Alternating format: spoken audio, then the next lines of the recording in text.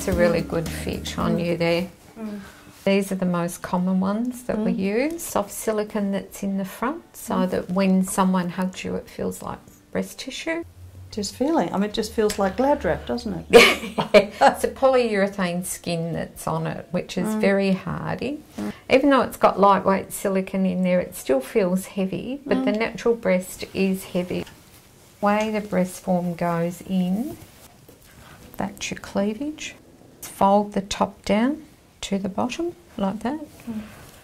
Open up the pocket and put that in, and then just open out the breast form. Now with your sliders here at the back, on mm. the side that your breast form is on, they'll be a bit lower.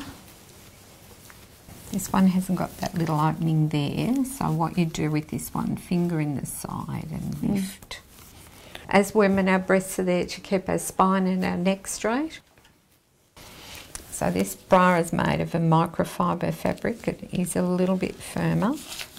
So by saying it's contoured, it's just a little bit thicker mm. through the front. And a lot of your, your younger women like that. How long do they last? they last on average about two and a half to three years. Through there, through there. Yeah, looks really good.